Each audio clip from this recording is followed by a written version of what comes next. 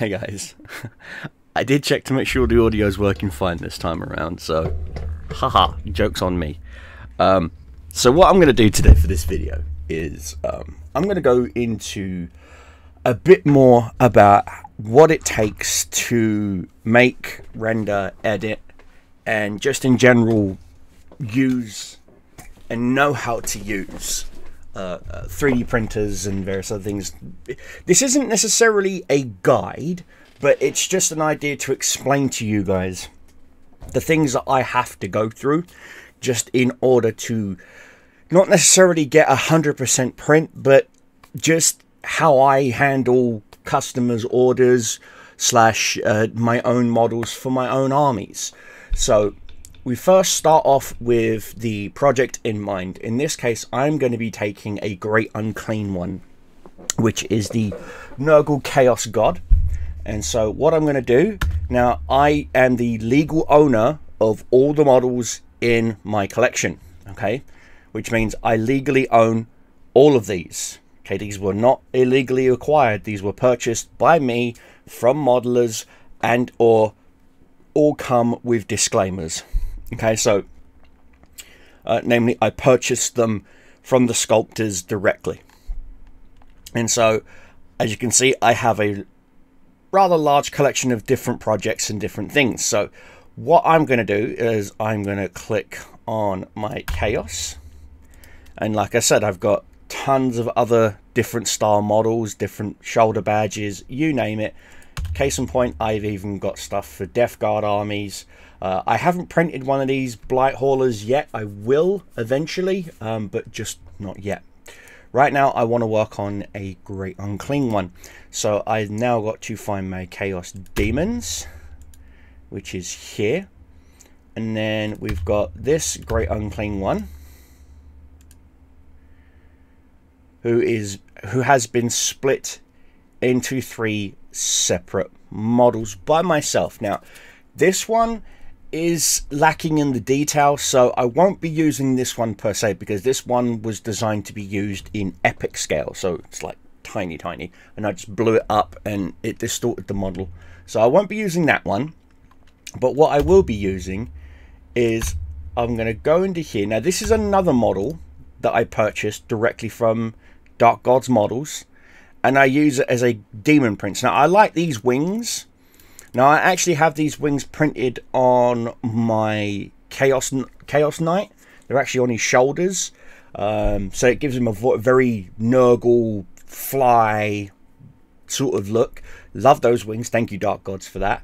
Um, and the base isn't that bad either.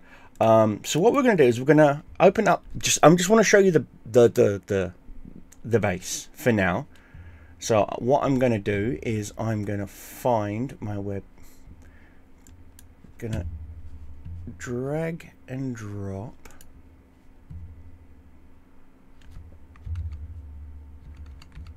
One second guys. There we go.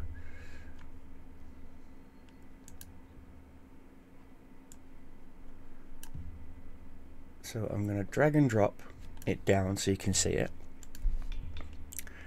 And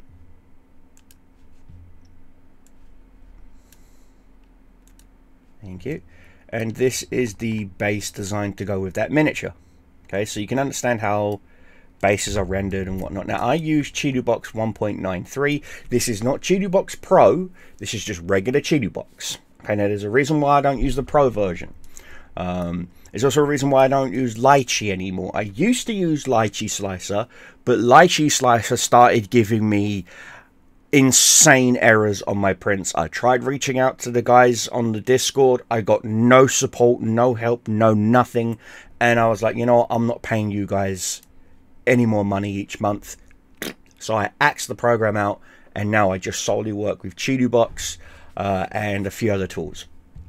Now, so we're going to find our great unclean one that we're going to be using. So demons, demons, where did I put you? Hmm, it's not that one. And I don't think it's this one either. No, this is a Warhammer Fantasy uh, Nurgle. Okay, a Greater Demon.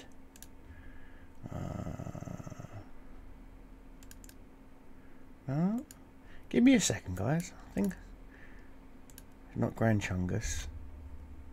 No, wait, is it? Yeah, it is Grand Chungus. There it is. Grand Chungus. I don't know why they're called Grand Chungus, but they just are.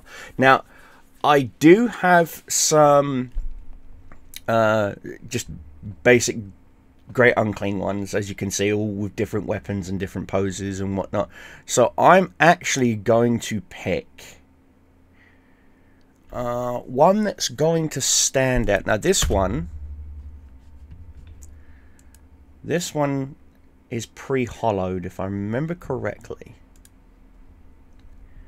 This one is pre-hollowed. Yeah, see, that one's pre-hollowed. So now all I've got to do is add some holes to it. Now, in order to hollow out a model, you would just click on here. And then you would also choose the wall thickness of the miniature. Uh, and if you want infill or no infill. Um, infill on some printers will make the print take longer. On some printers, it won't. It, it all depends on your printer, your print settings.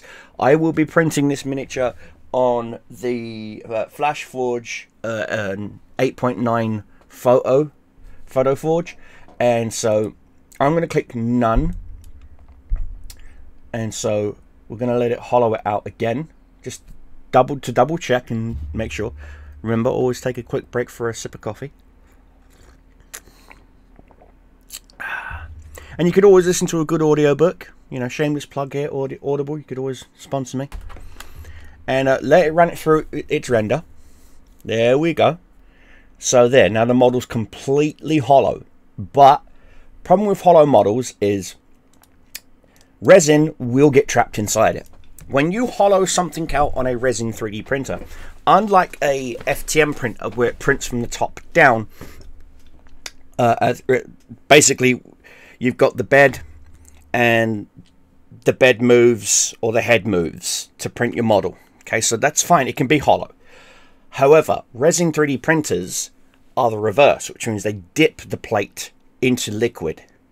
And liquid, like air, will go anywhere the least resistance there is. So if you've hollowed a model, okay, eventually, when, say, the hand gets finished, there's going to be trapped resin inside the palm, inside the arm, inside the belly, and they will produce gas.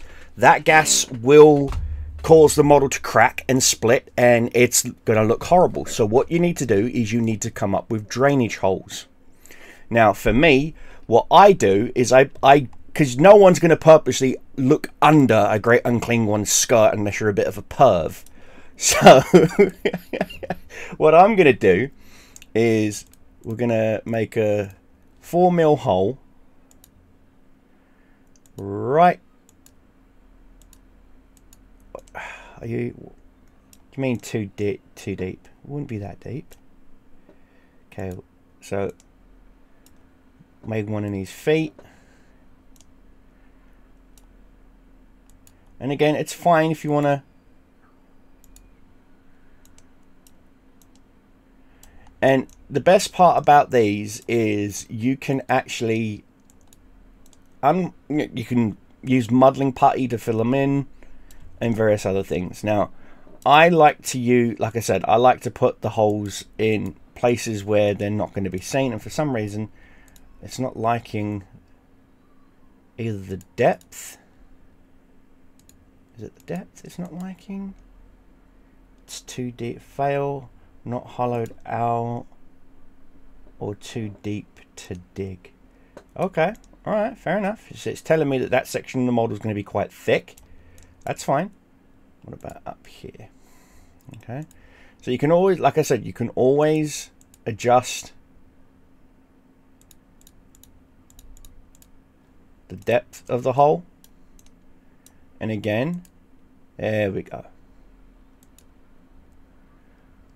What this does is this will allow the resin to be washed, cured, and able to leave the inside of the model. Now I'm going to check another few few places like so that will get the body up in there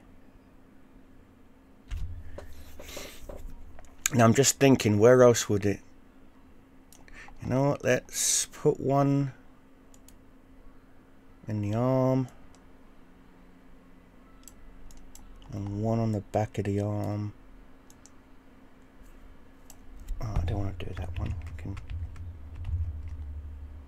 There we go.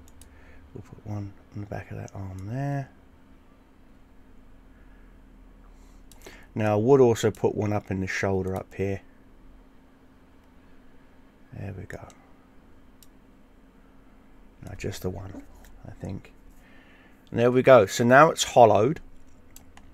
And now we've got to look at orientation of the model. Now, the orientation of the model will dictate uh, the angle, case in point. Now, some programs will give you smart orientation, where it'll start orientating the model to the best of its calculated abilities. It uses machine learning and various other things, and that's all well and good for some printers, but I don't I don't suggest that a lot of people do that because it's great for initially creating models but I'll show you that I'll show you a problem that I have with people um, doing that on their prints. One second, let me just find it's in here. It's not there. Yeah, you know, case in point. Here, I'll, I'll show you this one. Where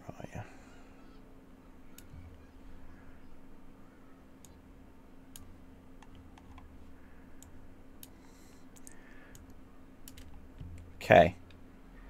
Now, I'm going to show you a few minis that were that used auto supports and why you shouldn't use them, okay? So bear with me, guys, while I get them. Because you're going to see a reason why you should never do certain things when it comes to your pre-supported miniatures. Especially if you are trying to sell them. Okay. Case in point, that this is one of the, the biggest ones of all. Okay. This miniature that you see over here. Okay, so we're going to... So this miniature that you see over here, okay, that is far too many supports for a miniature of its size. What I mean by that is there's marginal overhangs because if you if you look upside down a mod on a model, you will see uh, little red specks in certain aspects that will tell you where your overhangs are and various other things once you scan the model. Now, I've actually added my own supports to these models, and they've come out crisp and beautiful. I have a box full of them ready to go for my Chaos Renegades. But the point is, when I first bought these models, I had a hell of a time because my printer, my original 6-inch printer, ended up fusing some of these supports to the actual models and I wasted about eight or nine miniatures because the supports could not be broken away because there's just way too many supports way too many okay? So you want to lower the amount of supports okay? So way too many absolutely way too many. Now the problem with this one okay support amounts Seems about right. It's the base. This shoehorn style base is going to cause resin suction cups. Okay? Let me explain. As I said before, because you are lowering, okay, a model into resin, just like water and air, if it gets trapped somewhere, it is going to act like a suction cup. So when your bed tries to pull up, it's going to pull the FEP sheet up with it until something gives. Either the model's going to give or the FEP sheet's going to tear. Okay, now you can clearly tell that the, the the, the, the, the, seller of this model. Now, again, I'm, I'm not calling out the sellers. I'm not calling out the 3D sculptors. I just want them to understand that you do not ever build a skate base. That's what this is. It's called a skate base.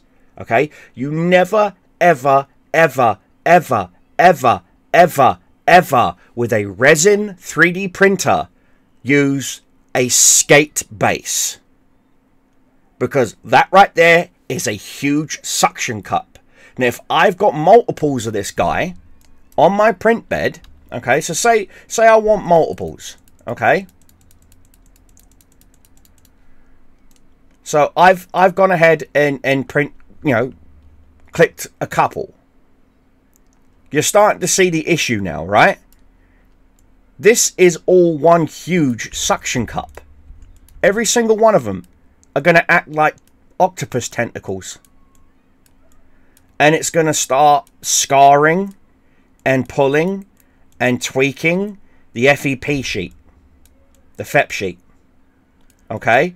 In which case, case in point, I've, I've seen printers, resin printers, pull the entire vat up. Okay? Because the suction cups on, on on, on the prints are re fucking ridiculous. All because the designer of the models threw their program in Lychee and clicked auto support. Because that's what Lychee does with their auto supports. You feckin' busted. I even know what program you use. You use Lychee Slicer because Lychee Slicer automatically puts your prints out with a skate. With a basic suction cup. Why? And when I tried to point this out to the Lychee Slicer guys, I was ignored. When I went through six FEP sheets trying to print one Demon Prince because the skates that it kept coming up with from Lychee Slicer caused the sheets to tear and then destroy my screen? And then all of a sudden they're saying, oh, it's your settings. No, it's not my settings. It's physics. It's exactly that. Physics. Stop putting skates on your miniatures. Okay? if you're going to attach a base, okay, use a flat one. Again, I'll explain it through physics. So we're going to delete every single one of these annoying little heretic bodies. We're going to slide our great unclean one onto the print bed. Now, blue is go. It means go. It's green you're all good. Okay, green means it's going to physically attach to the base. It's leveled on the base. Okay, so the model's actually going to stay upright without need of a, of, a, of a display base. But I'm going to be printing a display base for it as well. Anyway, but the point is, okay, now if I was to print this model as is, this arm wouldn't print, that arm wouldn't print, and half the head wouldn't print. Because there's no support structure, there's no lattice to hold it up.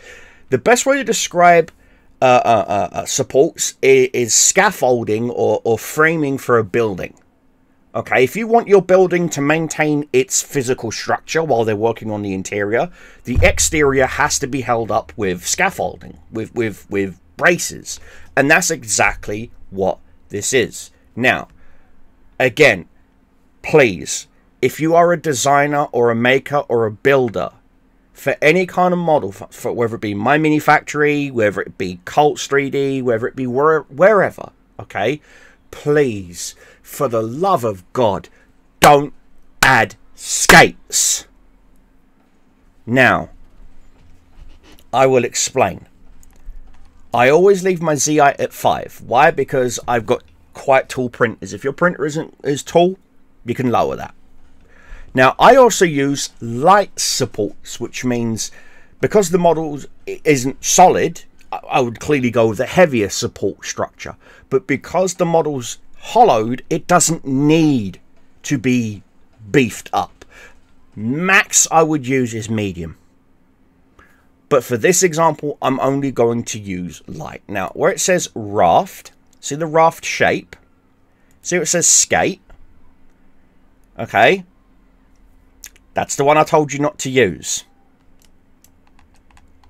Do you not see the lip around the edge? Do you see that? That's what's going to cause the suction cup. Let me move my camera real quick. Okay. This is going to cause the suction cup. Stop using skate. Stop.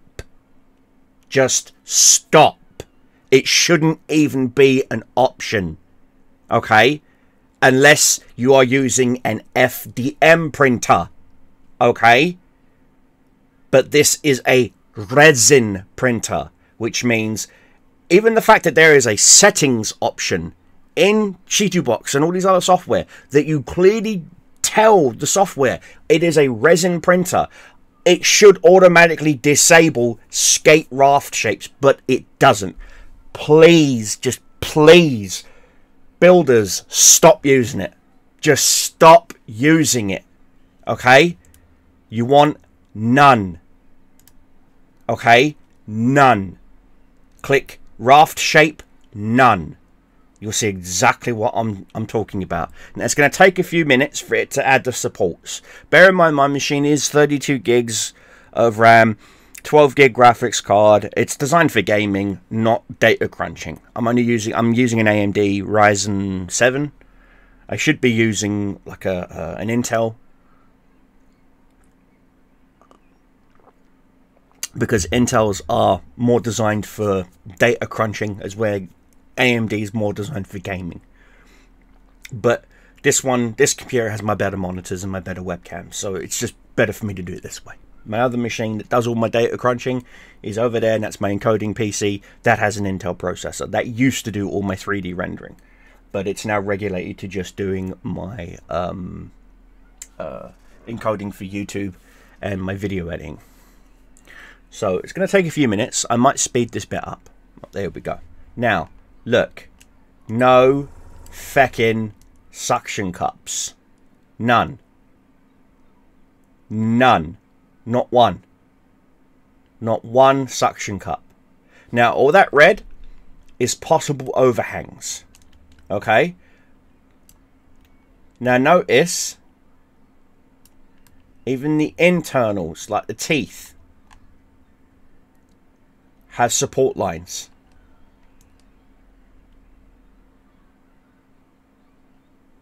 Okay? Even his under titty. Even his under titty will need a little bit of support. So let's, let's give his underboob a support. Here you go. Here, here's a here's a resin one run one a resin wonder bra. There we go. Learn to speak. All right. So I'm even to add a little support for that horn. Not that it's going to need it. I'm just adding it to add it. And you can see the difference straight away just from the base. Now that bell's going to be probably a bit of an issue. And that's fine. Let it be the issue. Let it be an issue. Okay. These overhangs. So it's advising that you put a support. There we go. It's advising that you put a, a support there. Same as the teeth. It's asking for some overhang supports for the horn.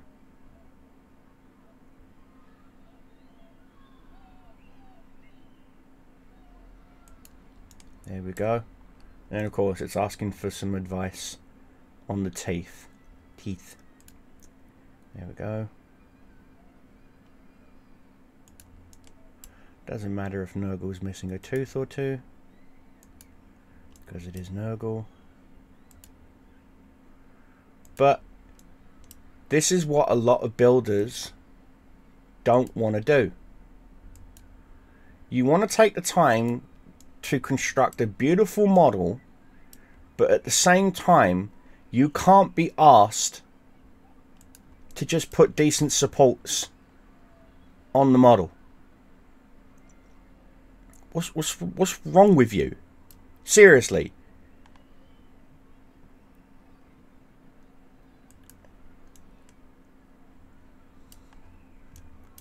And there you go. That is a hollowed out Greater Demon. Okay. Supported. With with drainage holes. And so now we can now go back one to this tab. Okay. Now you always want to double check your settings. I always go to my advance. And I want to turn... Hmm, let's see, what grey level do I want? I don't want 8. I'll put it at 4.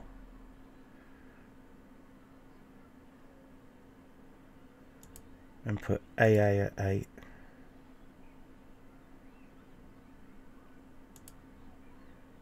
I'll put that at 4 as well. Image blur.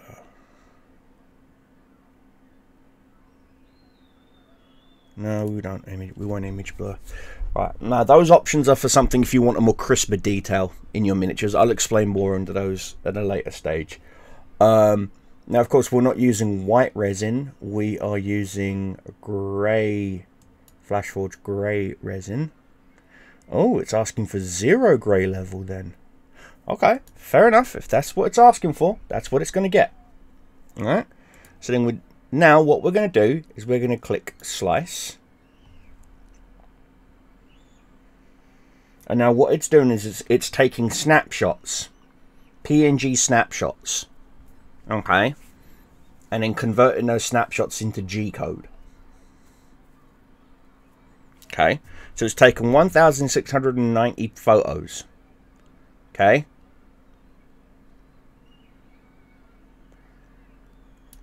There we go.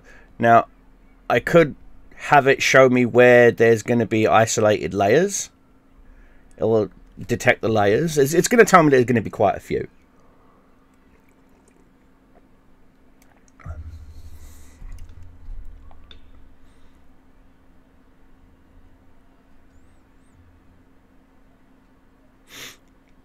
Again, it's literally now scanning each individual PNG that it's just taken.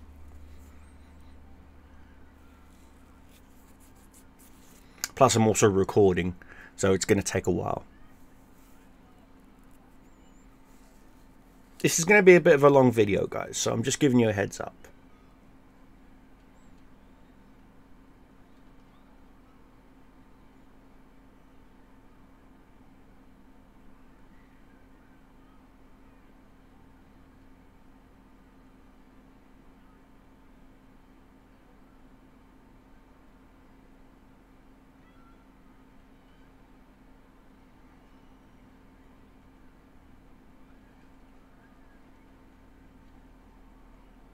There we go.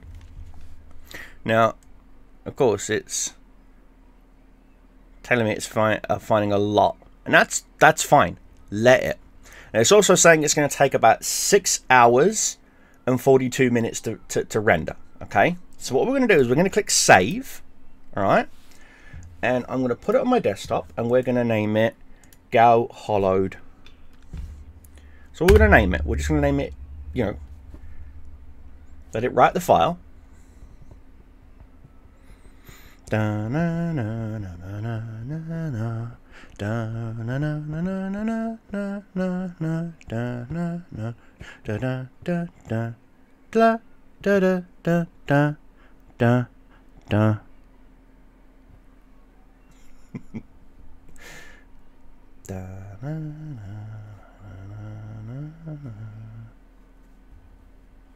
That's a derivative song from the dating game.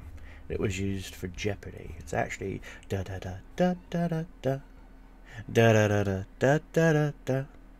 Da da da da da da da da da da da da da da It's a dating game from the 60s, the what, 70s and 80s. But they repurposed that tune for um, Price is Right.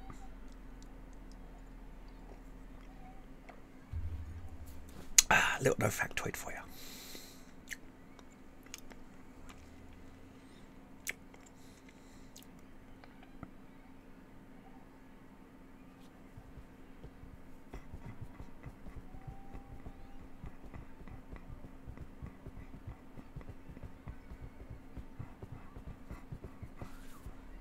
Right, it's telling me right was successful. So we're going to close this out now because we don't need Chitubox right now.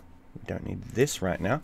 What we need is this and another program called UV Tools. Now, of course, there's a new version available, so what we'll do is we'll update.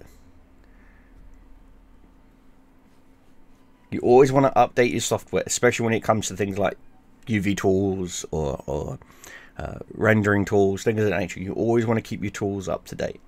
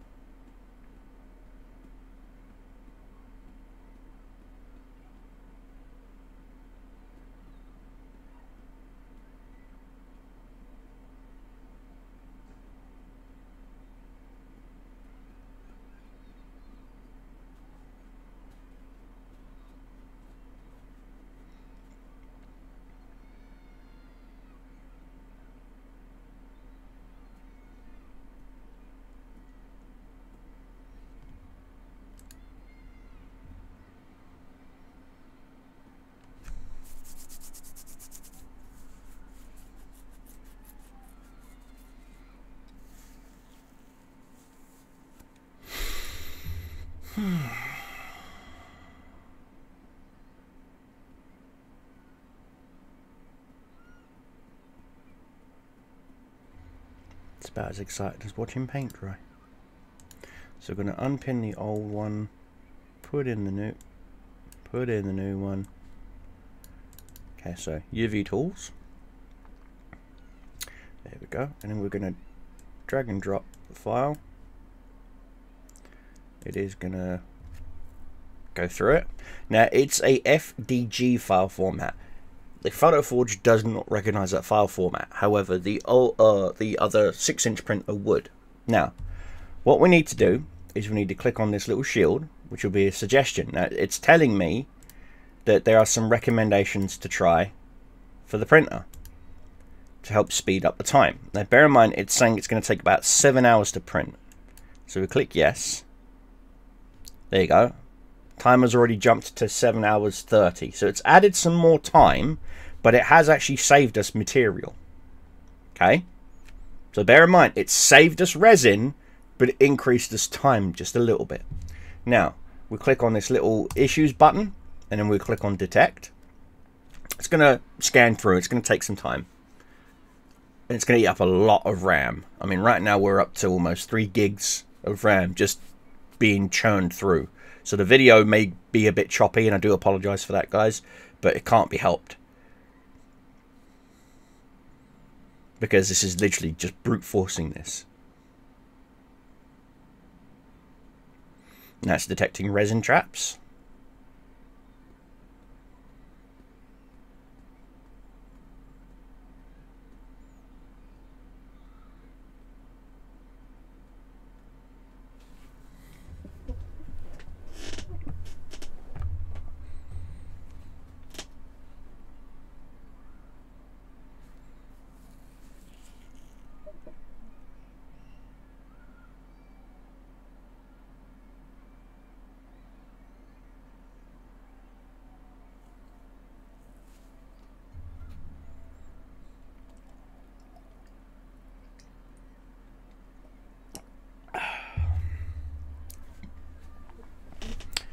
Like I said guys I'll probably be speeding this bit up in in edit so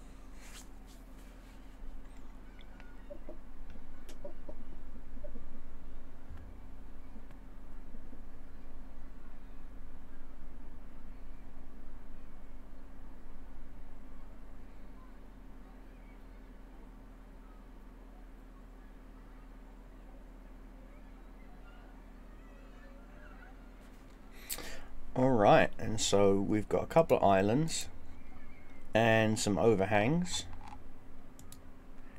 and resin traps. Aha, suction cups. Okay, alright, okay. Guess what? We can either drill or solidify. Um, let's solidify those. Alright, so then now what we're going to do is click on this and then click on repair islands, repair resin traps. I've already repaired the suction cup so that can be done. And there's no, uh, actually we'll leave the remove empty layers up. That will also speed up the print too. Okay, so I'm going to let it run through again. It's going to take a few minutes guys, so I do apologise about this bit.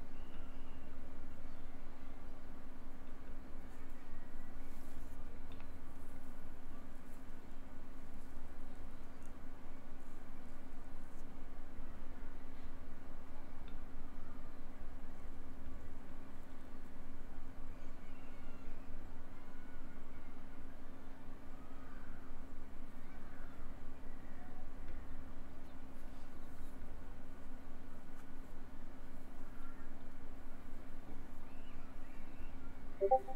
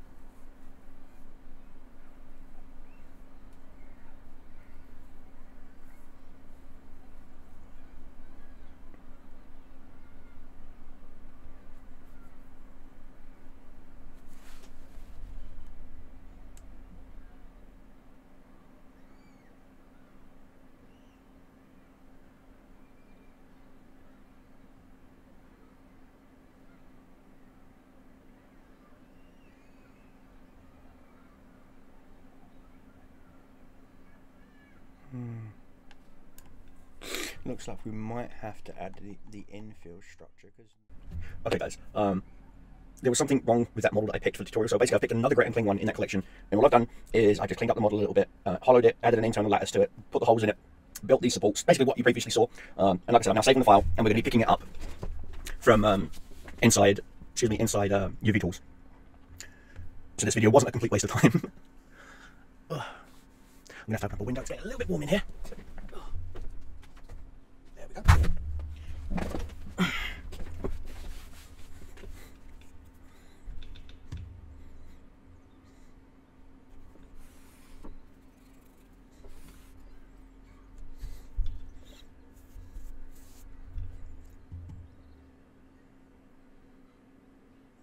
Okay, so the file is complete. I'm going to close that down. So we're going to go to our UV tools and we're going to grab our model. Okay, and then again, we're going to go through the calibration ads. This is for it to just fine tune the model just a little bit more. Hopefully we'll gain a, a bit more time saved and a bit more resin saved. All right. Now, again, this is going to be the, the section where we're going to have to speed the video up. So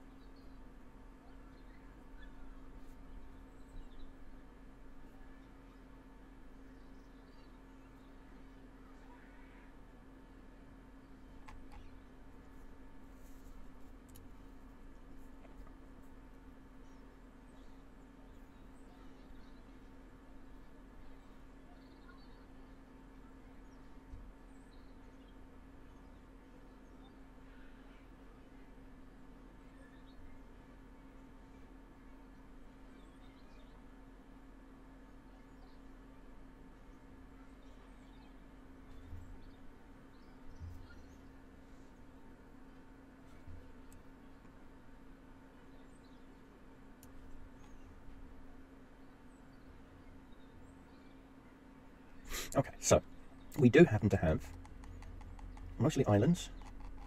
And let's close up the islands, resin traps. Here we go, suction cups. Now, this is what I was trying to explain to you earlier about um, them causing suction cups on the bed. So what we're going to do is we're going to highlight them all, and we're just going to go boop, solidify fill suction cups. There we go, suction cups are now dealt with. So we don't have to worry about suction cups ever again. So now we're going to click on the little attempt to repair. Now we've already repaired the suction cups, and like I said, this is what I did earlier in the other model. So I'm going to pause the video here, and I'm going to come back uh, if anything else comes up for you guys, all right? Okay, so the only thing left is marginal um,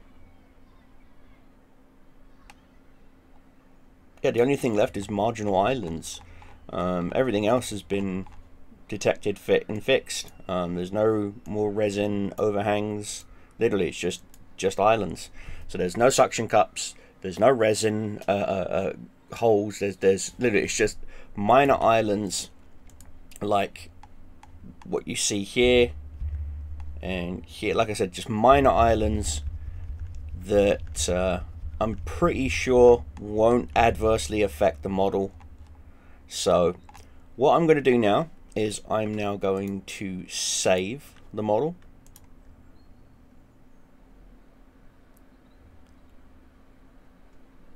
There we go. And now I'm going to uh, I'm going to convert it to a FlashForge file because which that's the only file format that the FlashForge recognizes. It does not recognize FD, uh, uh, FDG. Um, the newer model flash forges do. I've got a first generation one which doesn't, which kind of sucks, but is what it is. And so we're just going to save the file.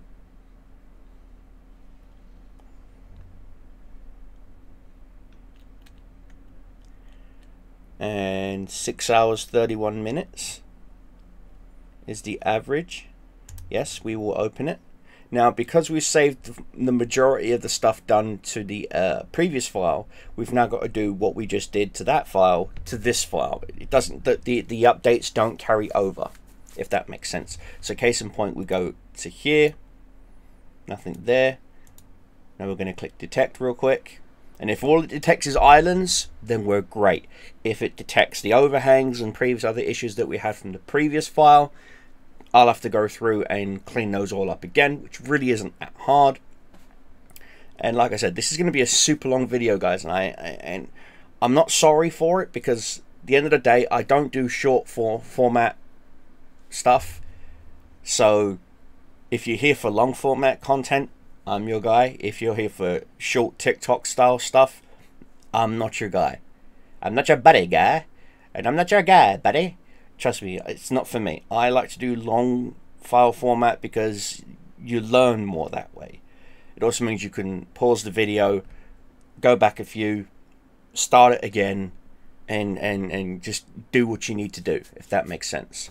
Um, again, I just want to say a big thank you to the fact that I am at just so close to 500 subscribers. It it it makes my head spin that there's 500 of you out there, and it means so much to me. I will be going live uh, later on tonight, hopefully with this model printed. So uh, to you in the future, you know, the model will probably be on my bench right next to my Mortarion getting ready to be painted and added to the Death Guard army. So, who knows?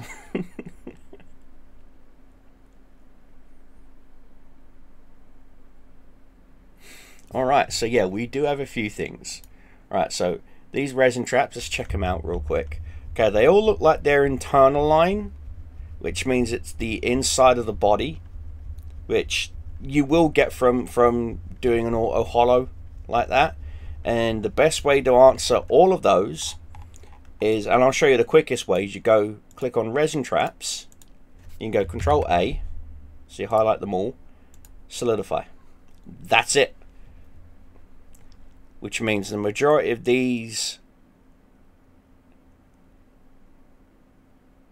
Alright, so then now we can go up to detect and just go repair islands and have it just try its best to repair the layers from the solidification, which means, like I said, we, we've made the model hollow, the majority of the model hollow, but in doing so, you're going to have some issues with the inner linings of the walls, like the inside of the hands, the fingers. If, if the fingers are too big on the model, it's going to try and hollow out the finger, which is going to leave a resin trap. So all I've done is say anything over a certain, uh, under a certain size, just fill it. Okay. So the internal cavity of the model is going to be hollow. The head, hollow. Tongue, no. Fingers, no. Sword, no. Horns, no. Does that make sense? I've now told uh, UV Tools what to make hollow and what to leave unhollow. And that will get rid of 99% of your resin trap issues. Uh, same as uh, specific things like overhangs Overhangs are going to happen if there's no supports for that for that overhang. Uh, and easy to fix that is to just add a support to it. You find out what layer it's on. And case in point, that's what the slider is on here over here. Is it will tell you what layer it is. You then go into your original editing file. You then go to that layer, add the support, save the file again, export it, rinse and repeat. It takes time, guys, but it's time worth spending. And the reason why I say it's time worth spending is because it's time that you know for a guarantee that you do not have to babysit that print. You know that it's not going to fail. It's you're going to get it right the first time, and that's all that matters. Now, in adjusting that, we seem to have created a resin trap. So guess what? We there you go. We fill it. No more resin trap. And there we go. We've actually got rid of a lot of the a lot of the overhangs. But there we go. So I think the file is ready for, for, for print. So we're going to go to File. We're going to go to Save. We're going to save it. and I'm going to export the file to my thumb drive. Now, my printer does have a LAN connection, so I could technically just print it right now. Turn the printer on and just let the printer go burr. Now, I unfortunately have to drain the resin because I did a previous print and it, it printed just fine, but I want to examine the FEP sheet.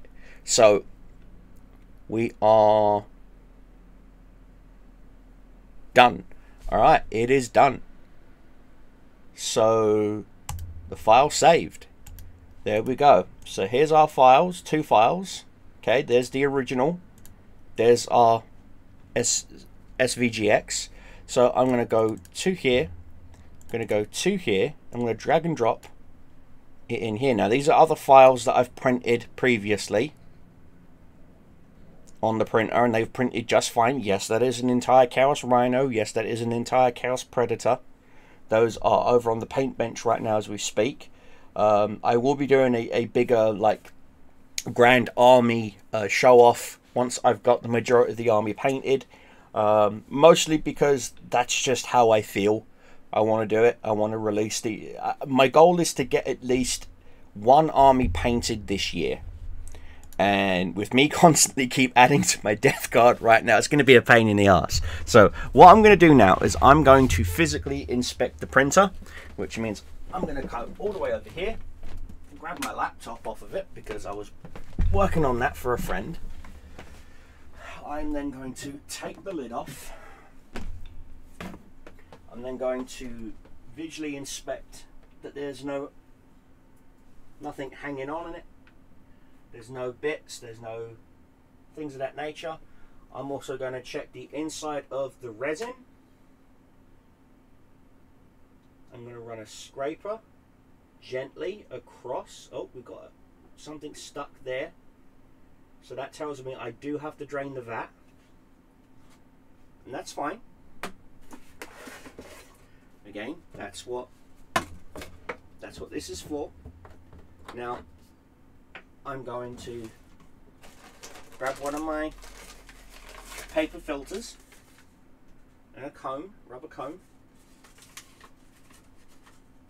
Now before I actually touched the resin, I'm going to grab some rubber gloves. Uh, I've got some latex free rubber gloves. Take my ring off. My lucky ring. And so what we're going to do, I'm also going to take my watch off as well. Because what we're going to do now is we're going to drain the vat, the resin vat, and I'm going to do some cleaning on the FEP sheet. I'm going to use some dry FPT on the FEP sheet to, to keep the FEP, FEP sheet's life cycle. Excuse me. And then next next month I'm going to order me some extra FEP sheets for that printer. Uh, I've also got a uh, new smart TV coming in for review. That'll be fun, guys. Look forward to seeing that on the YouTube channel. Uh, I'm actually getting back into doing hardware reviews. Right, so safety first. Safety first. Okay, guys, safety first. Right, so now what I'm going to do, untighten the screws just a bit, lift her up. That's one, that's two. Now, the only downside to the, the Generation 1 uh, resin vats is they don't have a safe pour. Uh, what I mean by that is one corner is usually designated as a safe pour, which means it's usually got a, like a funnel spout to it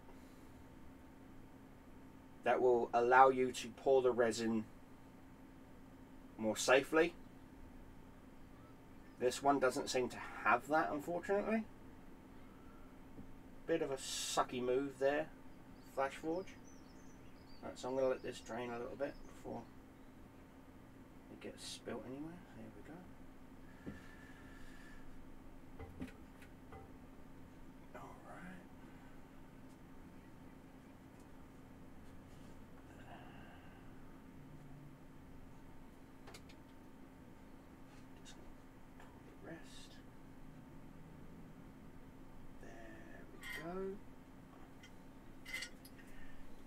take the plastic scraper, not the metal one. You never use the metal scraper on your FEP sheets, ever. Because that's how you will tear them. I don't care how soft of a metal that they're made out of. FEP sheets made out of plastic. Want to know who wins in a fight between metal and plastic?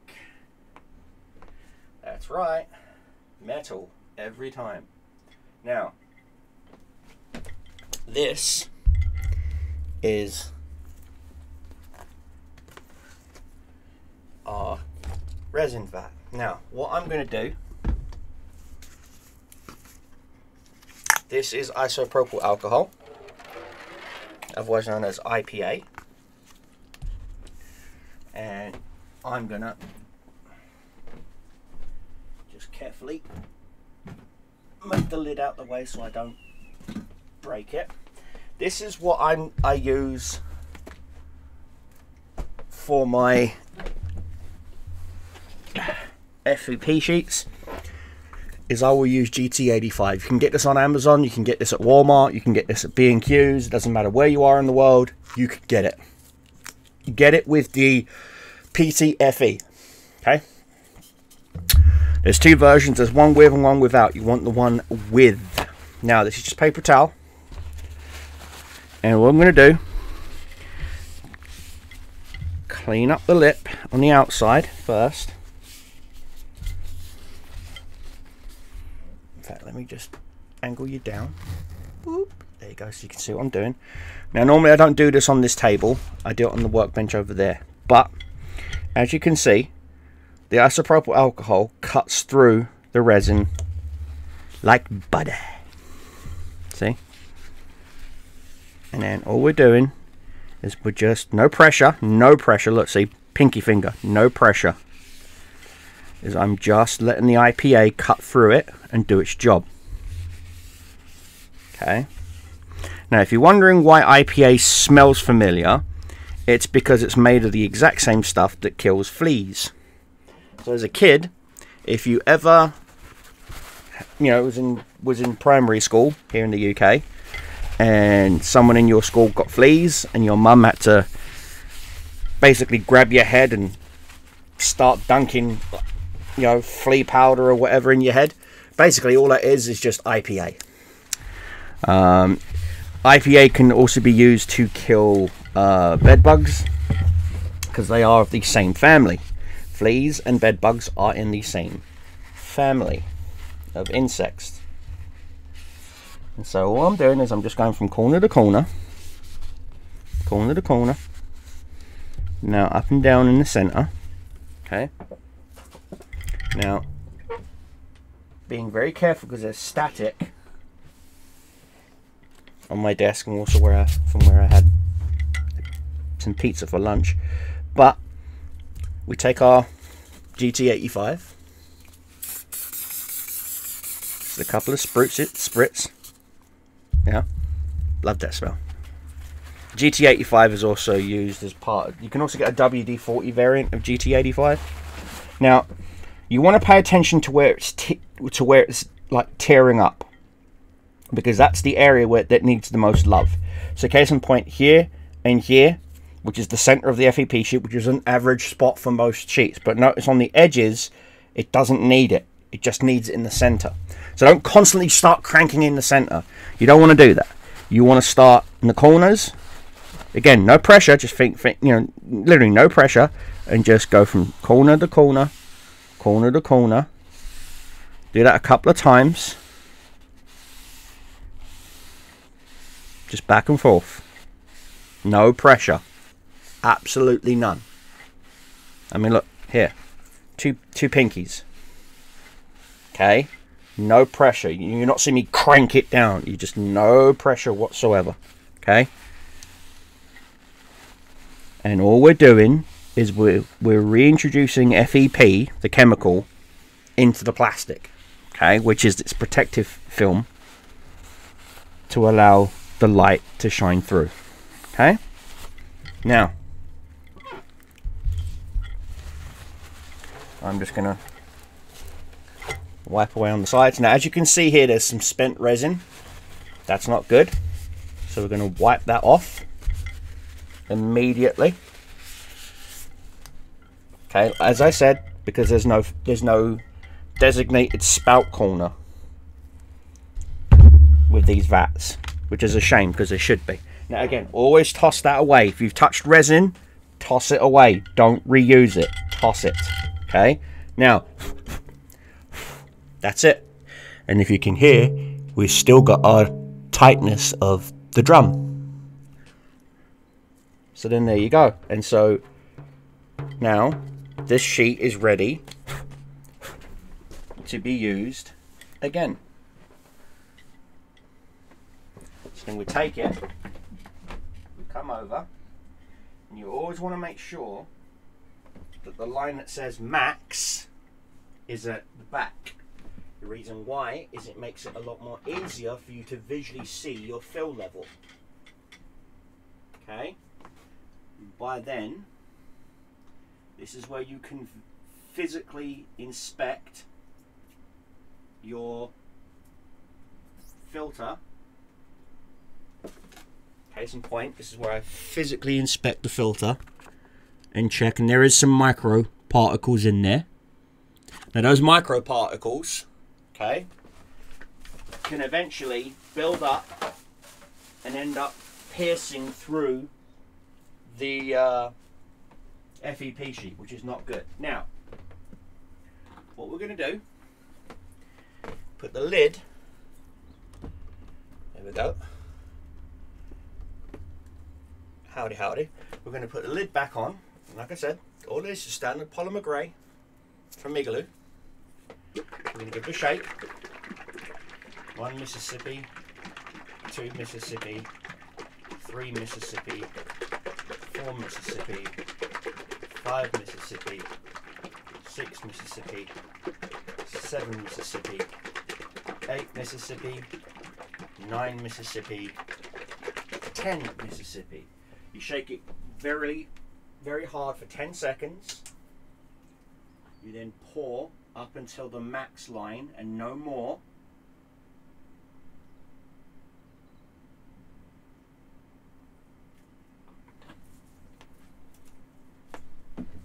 We then take our thumb drive that has our file, insert it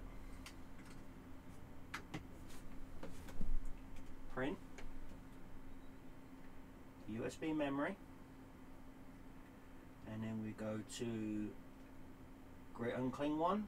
It's saying 4 hours 43 minutes at current settings.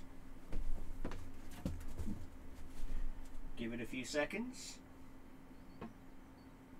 It's loading it up into the into the memory buffer. Five, four, three, two, one, and away she goes. Now, this printer will put out a wee bit of heat. So hence that's why I've got the window open.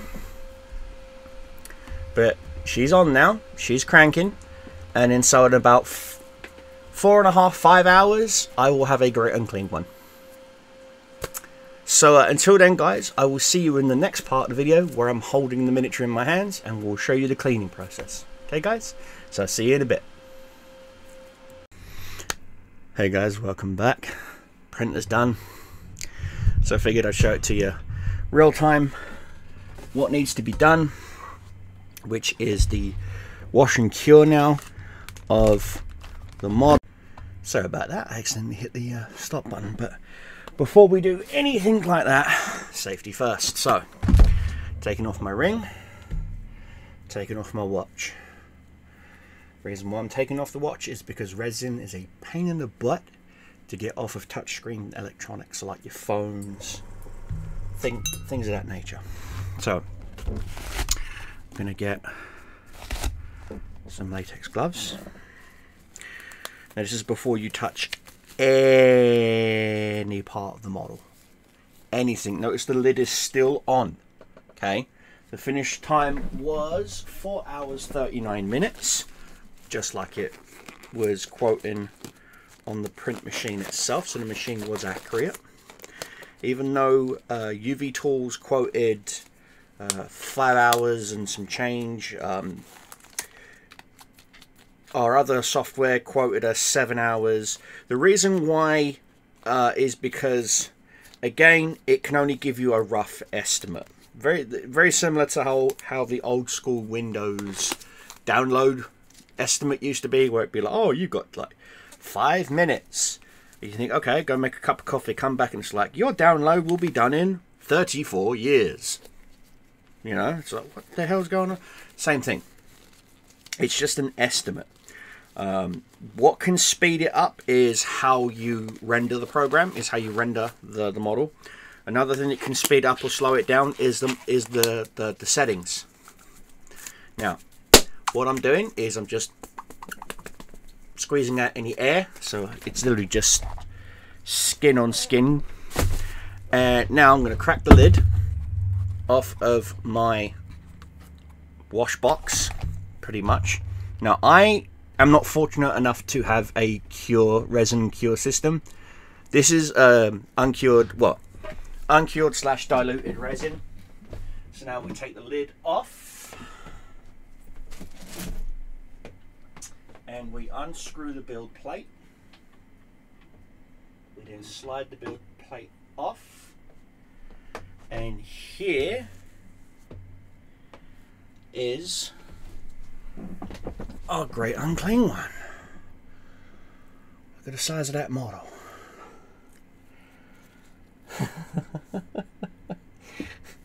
it's quite large.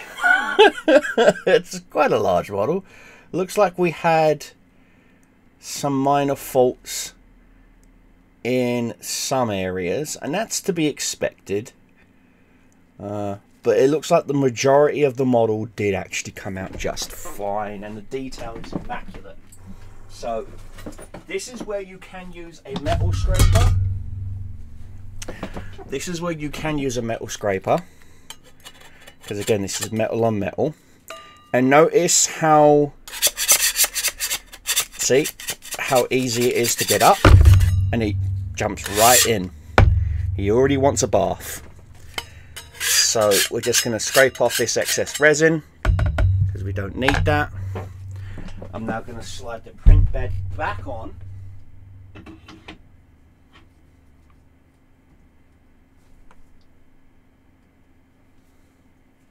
Acknowledge that the print is finished.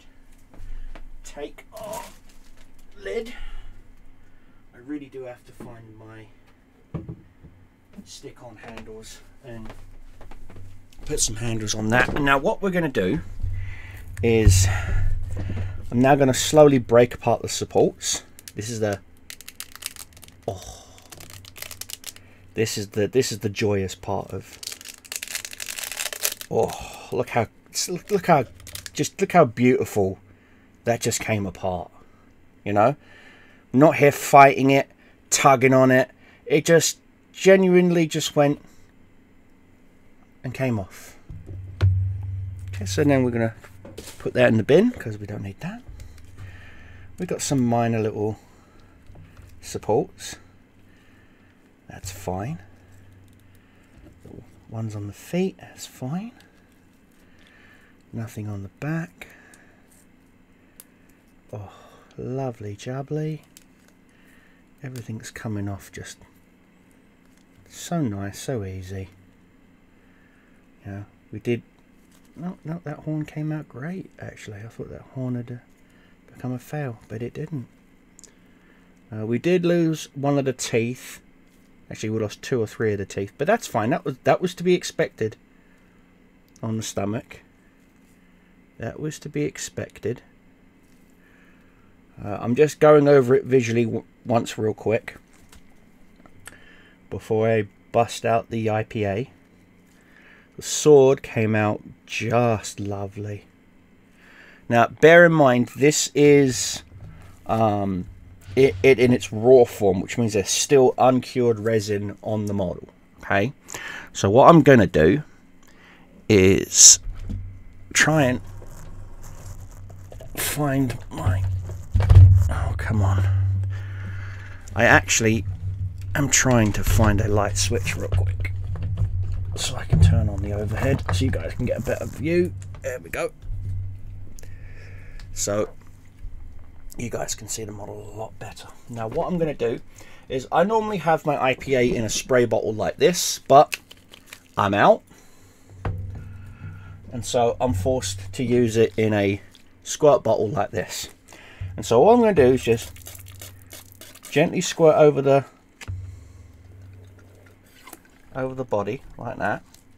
And I'll notice that there's a little bit of support left underneath him there. So we're just to get that off real quick.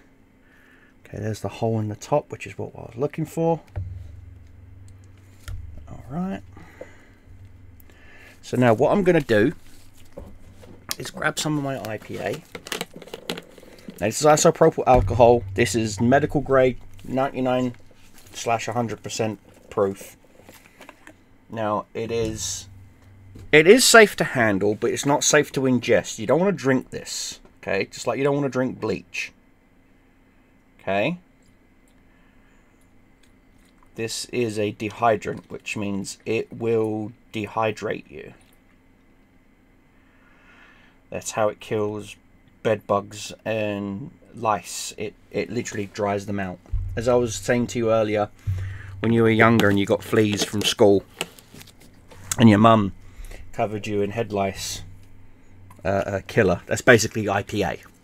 That's all it is, just isopropyl alcohol.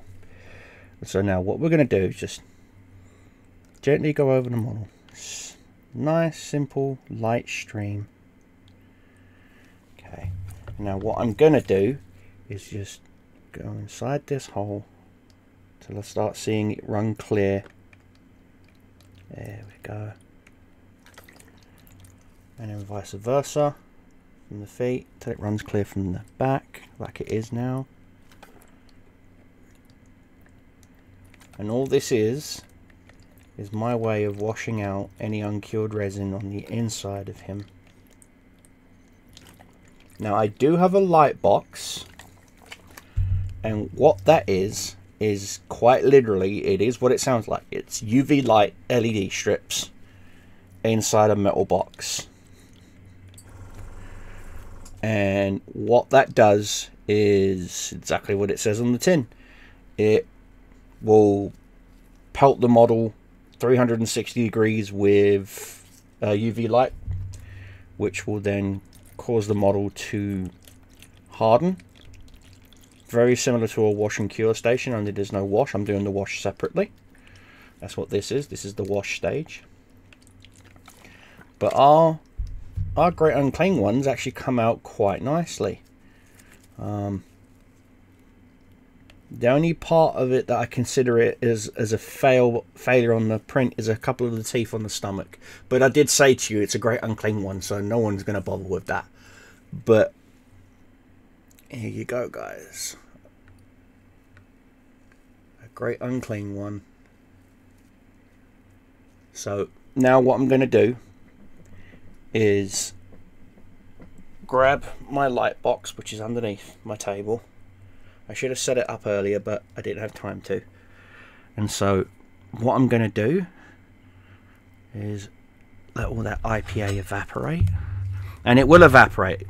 Isopropyl alcohol will evaporate over time. Now, this is a sealed container, so the IPA inside it doesn't evaporate. And then what I do after a couple of weeks is I will filter that IPA and of course my gloves split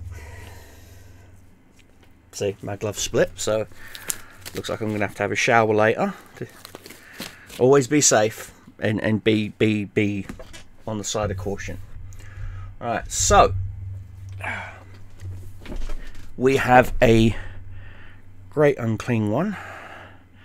Now I'm gonna have some just some wipes baby wipes here. And I'm just to lay it on the table so that the baby wipe can just absorb any excess coming out. And I want to grab two more models to show you the size of this great unclean one so we have got down here we've got a Chaos Space Marine Rhino right here and we have Mortarion right here. So the scale is just right. And yeah, I'm going to put him on the same size base as Mortarion because he is a monstrous creature. And uh, yeah, guys, so you've seen how it's done from conception of the product of, of the, the program to to uh, fine tweaking the model to then printing the model to finally having the physical model here. And uh, this model will be going in my this this model will be going in my Death Guard army. And I look I might even start up a uh, Chaos Demon army of Nurgle for Age of Sigmar. I don't know yet. But guys, I hope this goes to show you that uh, the steps that need to be taken, the actions that need to be done to take a model from a STL file to a physical actual model. And uh, guys, if you're interested, uh, please hit me up on the Discord. Uh, and as I'm in the process of revamping my website, I do sell the proxies, and that's exactly what these are. These are proxies Okay, that's all they are is proxies. Okay, um, treat them as such. Um, eventually, I will be buying a Great Unclean one, but for now, this one will do as a standing proxy. Uh, if you want some standing proxies for your army, uh, please hit me up on Discord and uh, and or leave a comment in the video section down below, and I will do my best to help facilitate your needs. Until then, guys, keep your shows fine, keep your enemies dying, and keep your dices rolling. Cobra Commander is out, and so's Beltor. See you later.